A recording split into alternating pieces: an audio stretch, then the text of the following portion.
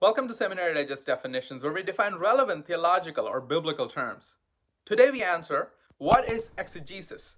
Exegesis is a field within biblical hermeneutics that concerns itself with the critical interpretation of a text in order to explore and understand its originally intended meaning. As a method, it involves studying the text in its original language or with the help of references or guides that aid in understanding the original intention. While any text can be exegetically studied, it is usually employed in the study of ancient texts of religious significance, like the Bible or Quran.